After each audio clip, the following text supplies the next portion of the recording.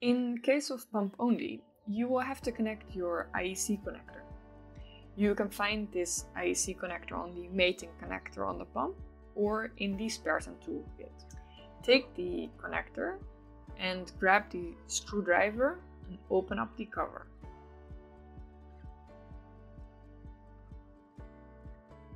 Place the connector back on the pump connector to confirm the positive and negative side.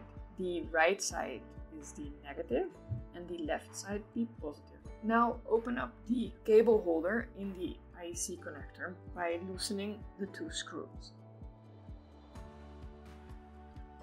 Grab your panel cable with positive and negative wire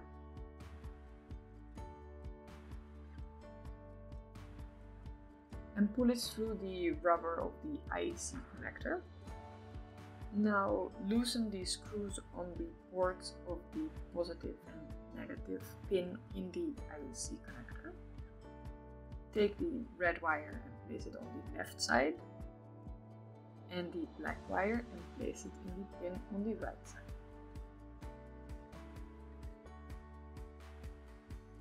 Now place the rubber into its slot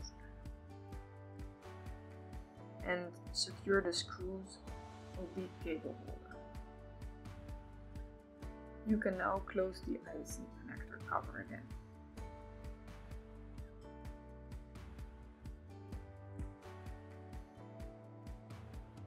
And you are ready to connect your